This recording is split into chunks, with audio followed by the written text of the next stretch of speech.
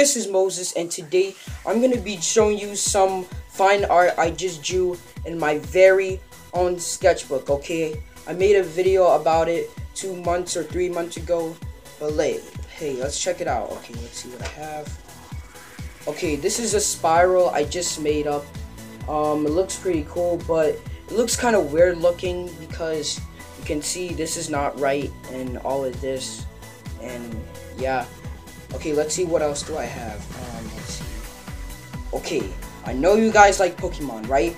So uh, that's why I drew a Pokeball. This looks really cool. Just look at the design.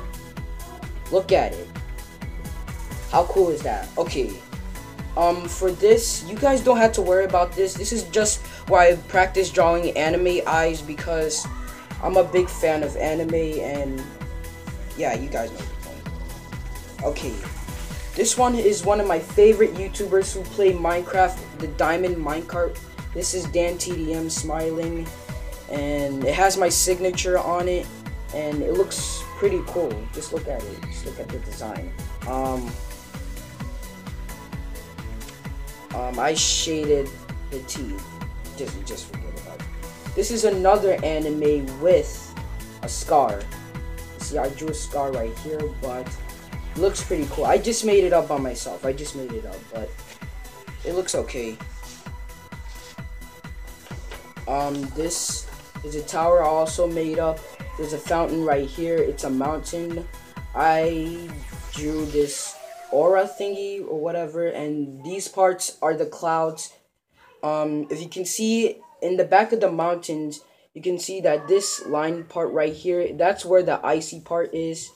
You do know and this is another ninja this is a ninja i just made up. It looks pretty cool. Um i haven't finished drawing the body yet but yeah you get to the point. Oh ho, ho. you guys have to check this out.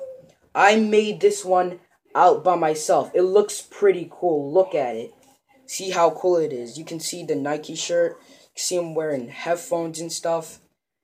Yeah it looks pretty cool. That that's awesome Okay, for this one, this one is called Raluta Kawaii. It's a bird I drew on Dragon Dragon City. What was it called? The website called Dragon City. It's a great website. You guys should check it out. I put in the link in the description down below. And yeah, and last but not least, I have flaming arrows. You see, this one is flaming arrow. The one adjusting it and one and one um, letting it go by itself, okay? Okay, so I guess that's all I have to say for today. Thumbs up if you enjoyed this video. Leave a like if you're new to this channel. And I will see you guys later. Peace out.